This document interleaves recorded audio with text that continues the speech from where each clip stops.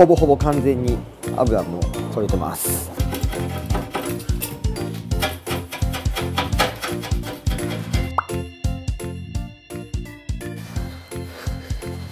強酸性の洗剤で周りのくすみ取ります。よくあるあのお酢の力とかっつってあのこういうところの洗剤コマーシャルでしてるんですけど要は酸性の洗剤がこういうとこ言ったらここもアルカリ汚れなんですね。水のミネラル分なんかがついた汚れなんかがあるんで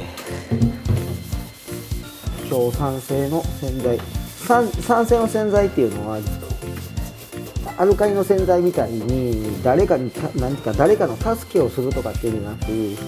自ら仕事をしはるんで塗るだけで大丈夫です。ただし金属に対して言ってたらあの pH の低い強酸の洗剤使ってるんだ。調子乗ってほっとくと変色してきます。これで見てもたら分かるんですけど何もしなくても水で流すだけでくすみがもう取れちゃってます。これはこすってるんじゃなくてその酸性の成分を落としてるだけです。家庭用洗剤で酸性の洗剤なんかほぼほぼないんでまあ3ポールとかそんなやつぐらいかな。これはトイレ用なんでトイレとしてしか使えないんで使わないんであれなんですけど水回りはだいたい酸性の洗剤使うといい仕事をしてくれます。OK これで、えーと、拭いたりなんかしてまだ何か残ってるようやったらそれは酸性で取れへんかった汚れなんで酸性の汚れがついてるんでその時は油汚れの洗剤で取ります。言うたらアルカリの汚れに対しては酸性の洗剤。酸性の汚れに対してはアル,、えーと、アルカリの洗剤違うものをぶつけてやることで汚れっていうのは取れていくんで。なので酸性の汚れって何やねんって言ったら油汚れですね。主に。そういったものは、えー、全部酸性の汚れなんで。なのでこういったアルカリ。まあマジックリンもそうなんですけどこれマ2の似てるけどマジックリンじゃないです。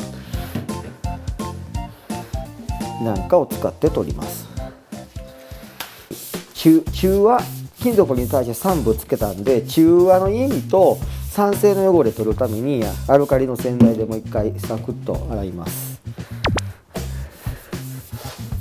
こうすることでもし酸性の成分が残ってたとしても金属に対して悪さをしないんでこれが pH 完全に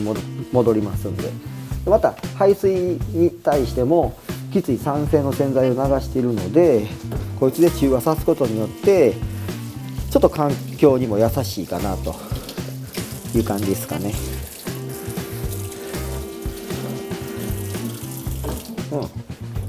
うん、両方使ったんでめっちゃ綺麗にできました。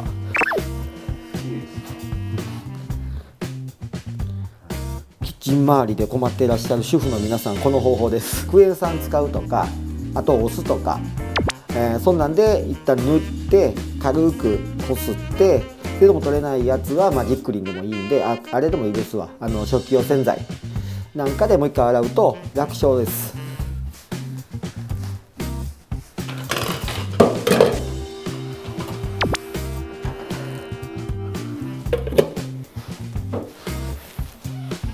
こういった排水口なんかは中にトラップって言って水が溜まっててお水だ匂いとかそんなの上がりを防ぐんですけど入居者の予定がない場合は中の水が乾燥してしまうと虫とか匂いとか上がってくるんでラップで蓋をします。蓋をして中の水の乾燥を防ぎます。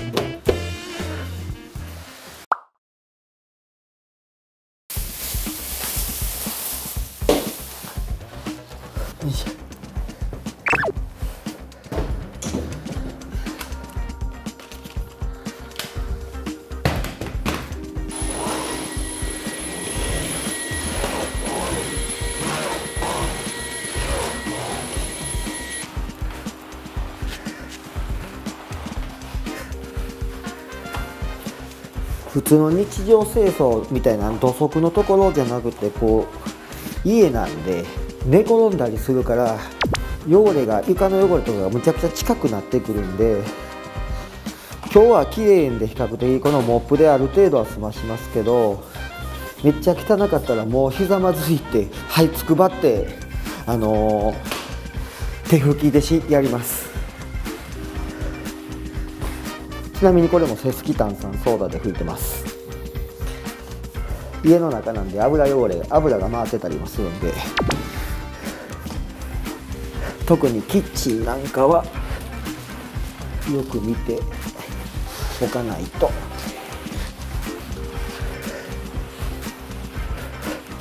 普通こういった場合はワックス仕上げなんですけど今日の物件はほんまの木の木のフローリングなんでこういった場合はあのほとんどワックスは塗りません。塗ってしまうと次転職なんかした時に剥離とかっていう作業が入ってきますんでそういったのにあのハウスクリーニングが対応できへんのと剥離やると、あのー、大量の水使いますんで木なんで反ってきたり、えー、いろいろ、えー、あんまり良くない状態になってきますんで、えー、ほとんど塗りません。なので今日は、えー、塗らないで帰ります。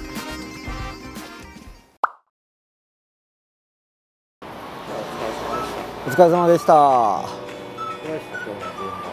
そうですねあのー、綺麗な方だったんですけどもまあ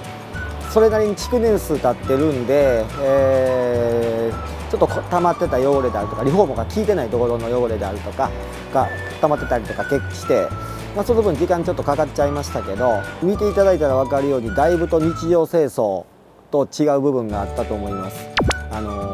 回復ではなくもう完全に元に戻すさらに近い状態に戻すっていうところなんでまあ言うたら復元に近いんですかね。